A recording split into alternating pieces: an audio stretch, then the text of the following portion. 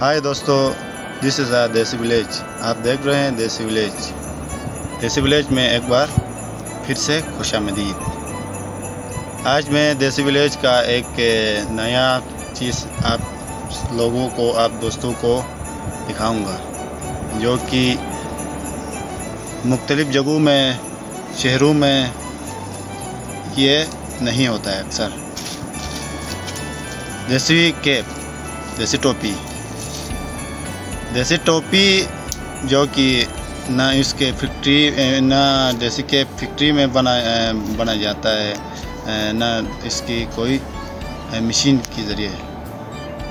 यह नादर एरिया की एक सकाफत है, एक कल्चर भी है। तो ये टोपी वूल से बनाया जाता है।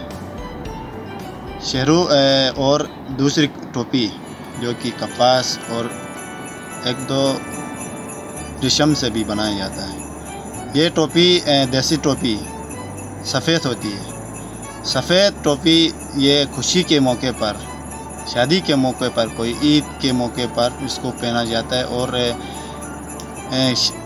नाच नाच गाना के वक्त भी इसको पहना जाता है। तो मैं अपने दोस्तों से ये गुजारिश करूँगा कि अब तक जिस दोस्त ने मेरा चैनल को सब्सक्राइब नहीं किया है, वो सब्सक्राइब करे और अपने दोस्तों को भी शेयर करें, ताकि आने वाले तमाम खूबसूरत, तमाम दिलकश, फ्रेश वीडियो आप तक आप पहुँचेंगी।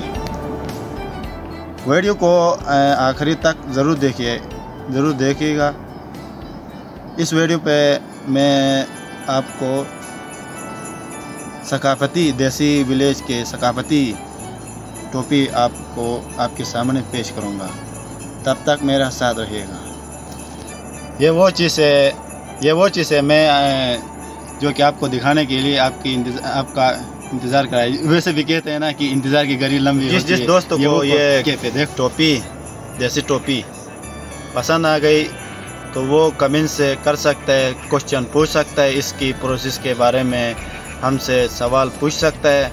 हम उसको, इस दोस्त को डिटेलन, उसके वीडियो के साथ हम उसको सिखाएँगे। तो थैंक यू सो मच